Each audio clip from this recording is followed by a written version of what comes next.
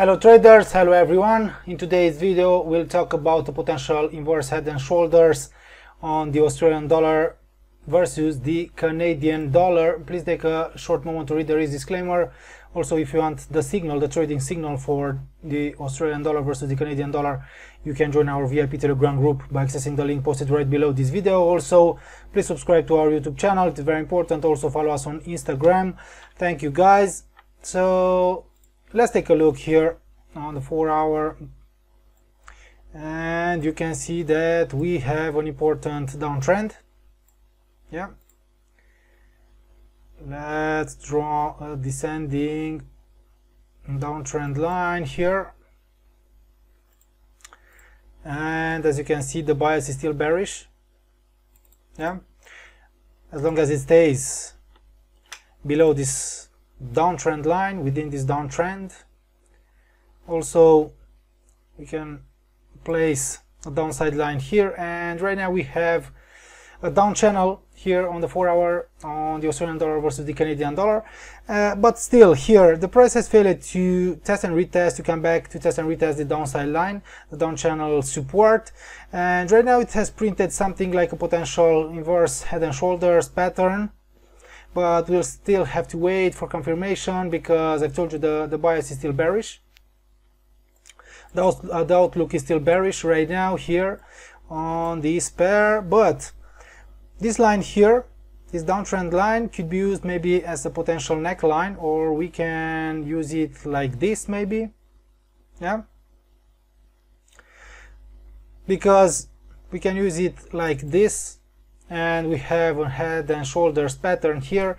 Right now the price is trading in the red. Here is trading in the red at 0.9337 it has found resistance again at uh, 23.6 and this potential reversal pattern could be activated and confirmed if the price will increase if it will make a valid breakout above this neckline and very very important if it will make a new higher high if it will make a valid breakout here above 0.33 93 93 guys sorry. So if it will jump above the neckline and if it will close and stabilize above 0.93 93 then it could maybe print an important upside movement and could activate this reversal pattern. So such a breakout here. Consolidation stabilization here above these immediate resistance levels could really signal also a potential breakout from this major down channel could signal potential important growth towards 61.8 towards 78.6 in the upcoming period right so we'll have to wait for confirmation this pattern could maybe bring us an important growth, maybe a potential growth of more than 1 point, oh, sorry, of more, more than 130 pips. So yeah, we should wait for a valid breakout here before maybe the price will register an important growth of more than 130 pips in the upcoming period here. Let's take a look.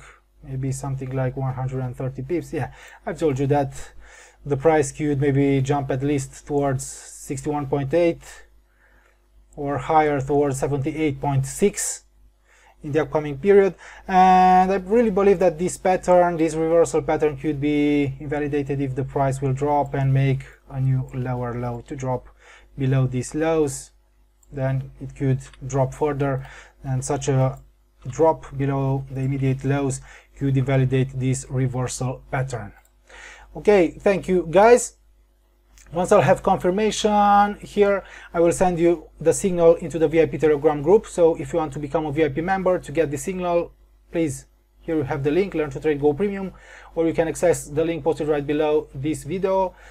Here you have our YouTube channel, you can subscribe, you can share our videos, you can like them and you can comment. Here is our website and here is our Instagram page profile. You can follow us you can comment, like, share our content in Instagram. Thank you. bye bye